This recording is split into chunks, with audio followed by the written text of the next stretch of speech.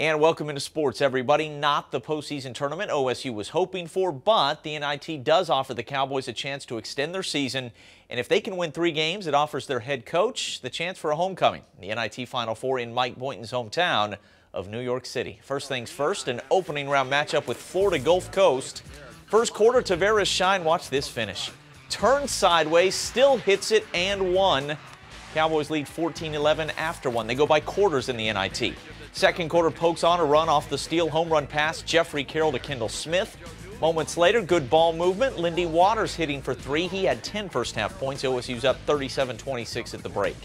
Bixby native Mitchell Solomon trying to make sure this is not his final game in Stillwater. The two-handed punch down low moments later. Solomon for three, and the crowd is loving it. Solomon, 13 points, 9 rebounds, 18 points for Carroll, and the Cowboys win it 80 to 68. They advance to the round of 16. They'll face either Stanford or BYU. As for the Sooners, after finishing the regular season with 11 losses in their last 15 games, the big dance, a fresh start.